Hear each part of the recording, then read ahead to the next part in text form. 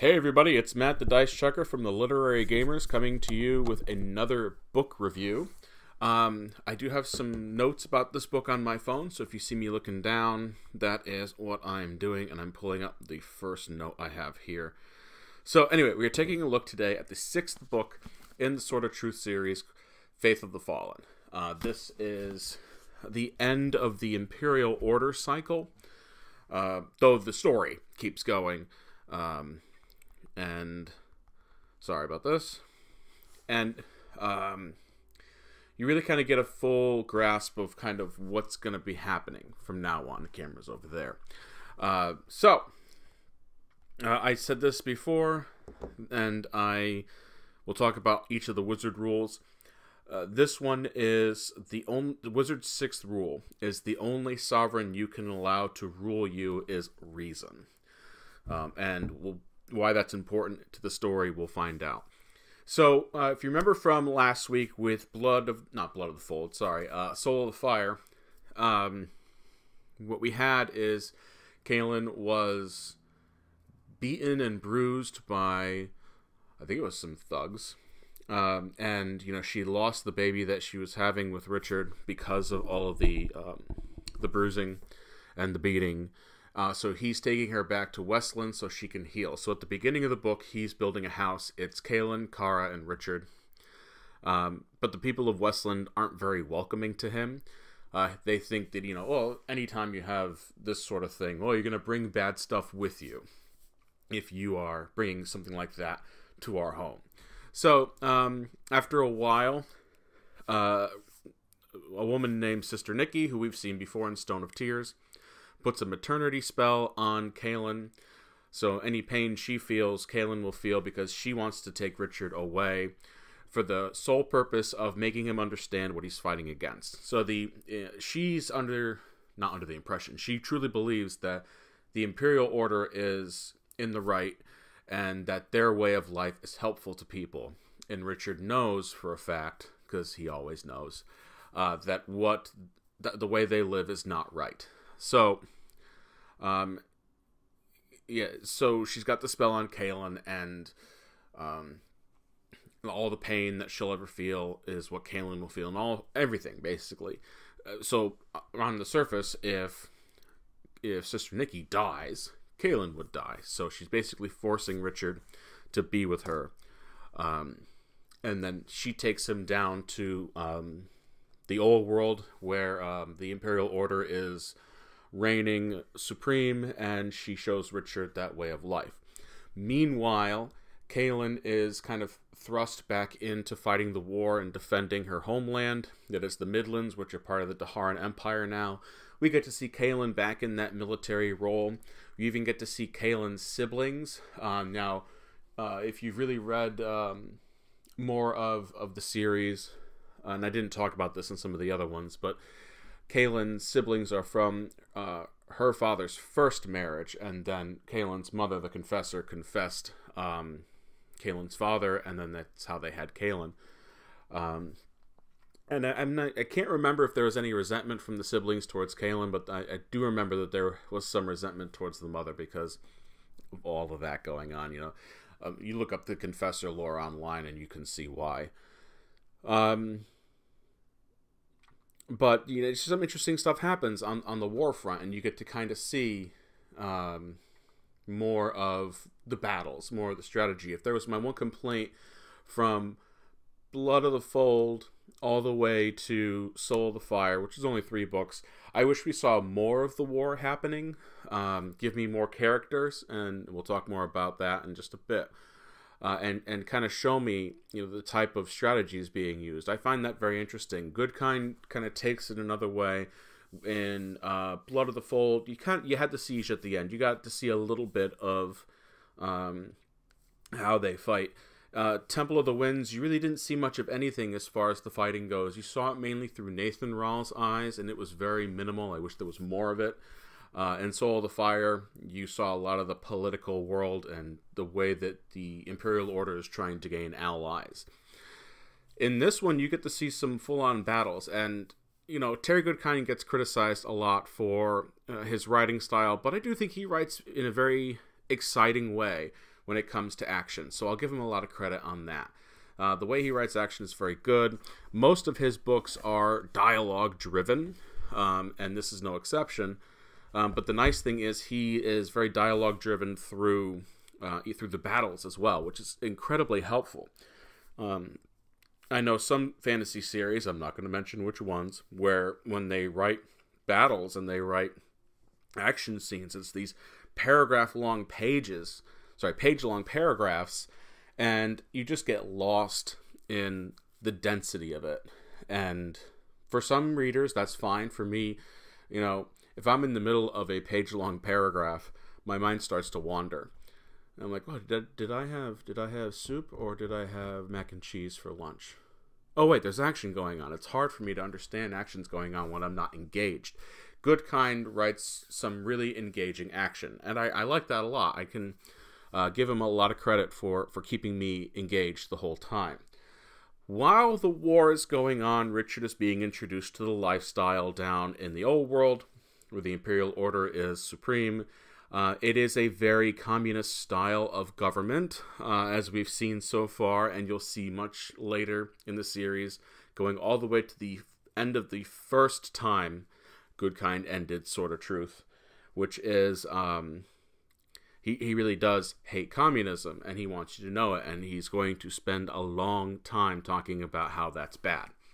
Um, Richard is trying to tell the people there, and even Sister Nicci, that you know this isn't really the the best way to live your life you know and and you're you're um, taking something away from somebody to give it to someone who needs it yes but it, it kind of he, he kind of gives you the feeling that there are some people that are just going to sit back and do nothing and always are going to be benefiting while someone is always getting stuff taken away from them for the sake of another it, it's that whole anti-communism style that Goodkind really you know, it's it's where he infuses his politics in the book. Now, for many people, they hate this book for that.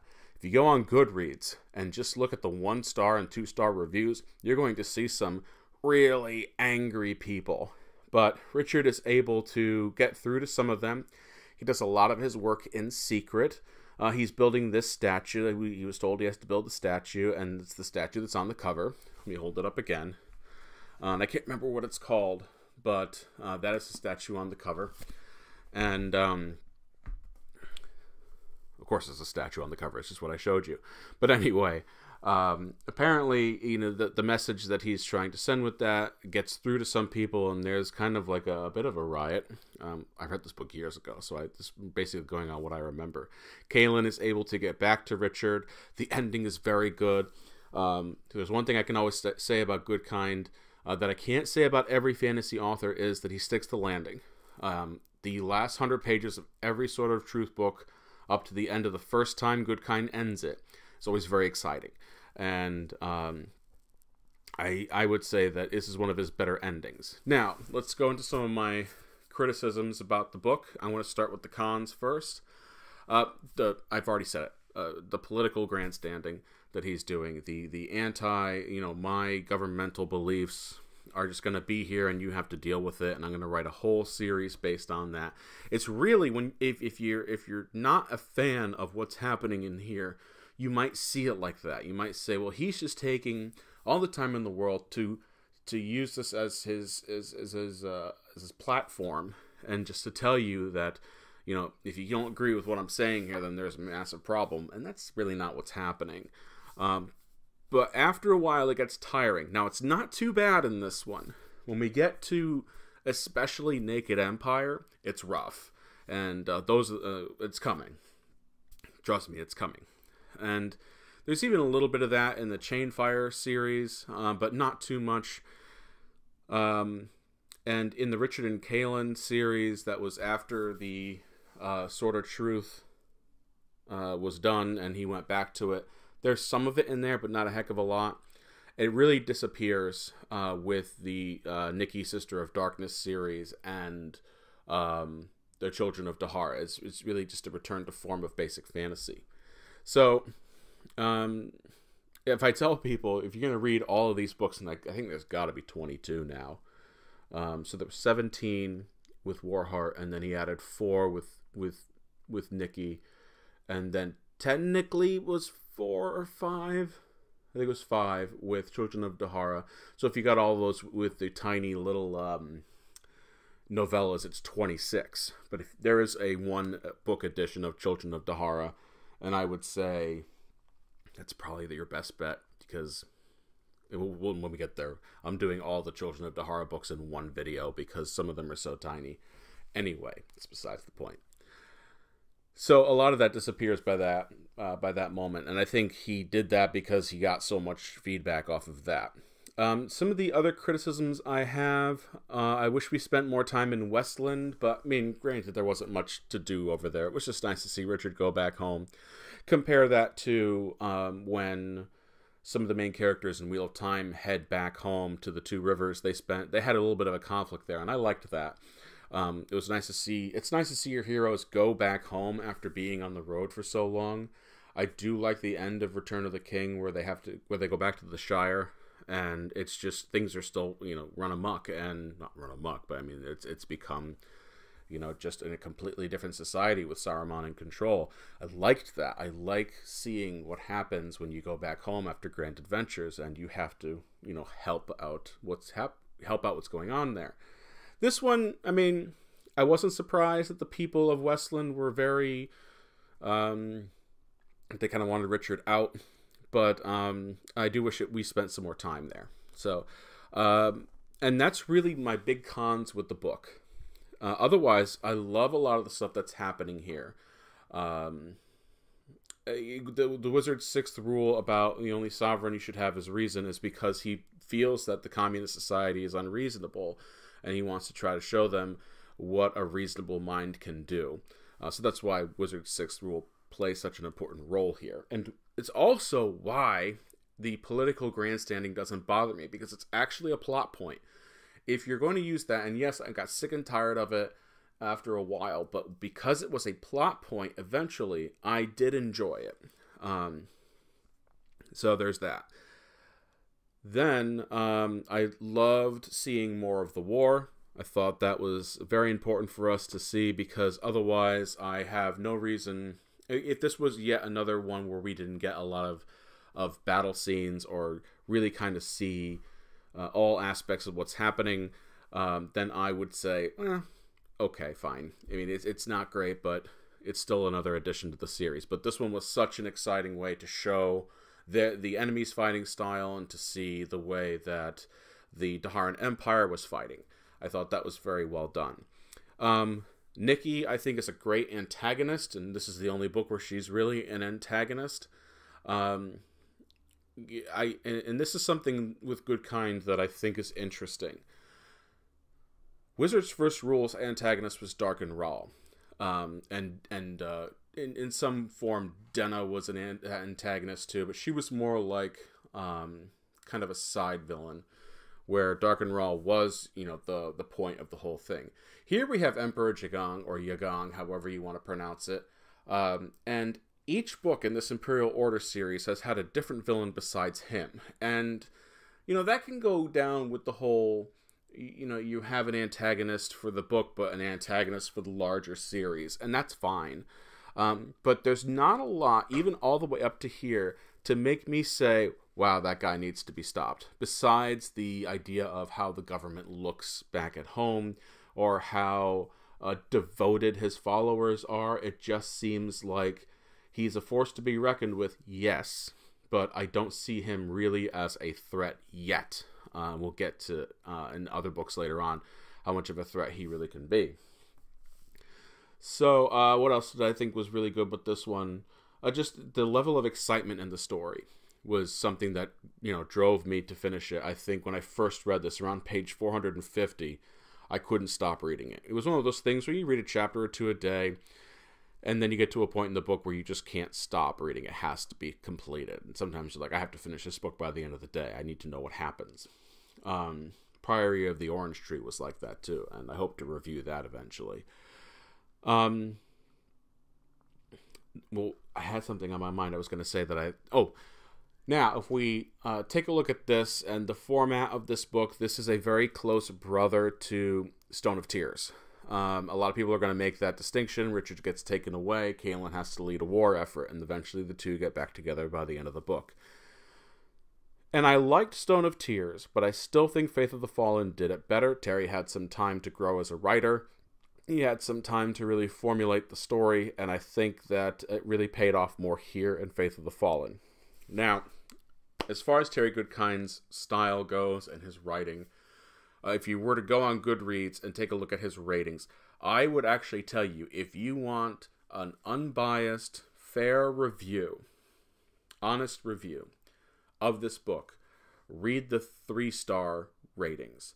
The ones and the twos tend to just go off on him because they don't like him him as a person, or they don't like him and his his uh, his political stuff. Um, you know, he, he is a very uh, divisive figure in, in fantasy writing. Um, so if you want to know more about that, I would say read the three star ones if you want something a bit more honest. The four and the five stars tend to be people who have really been engaged in the series this far. And I should say, if you've gotten this far in Sword of Truth, there's no reason to stop, uh, unless, of course, um, so, for, for example, I read the first four books in Song of Ice and Fire, and I read maybe a third of uh, Dance with Dragons. But since there was no date for Winds of Winter, I was like, I'm going to forget everything that happened from Dance with Dragons, uh, and then I'm going to have to read the whole series again. So, I'm not sure if Terry had that problem. Um, so, if you had stopped reading the series because you were waiting for the next one, and then you just missed that it came out, I would say give it a shot again. Uh, at least get to Confessor, which is the first ending, if you want something that's a satisfying conclusion to the series. So that's going to be it for me today. I'm trying to keep these reviews under 20 minutes, and I'm looking at my timer now, and I see we're at 17. So that is Faith of the Fallen, the sixth book in the Sword of Truth uh, franchise. I initially gave this one five stars. I think that rating still stands. Uh, they, this is probably my favorite book in the series, and that includes the whole encompassing um, story.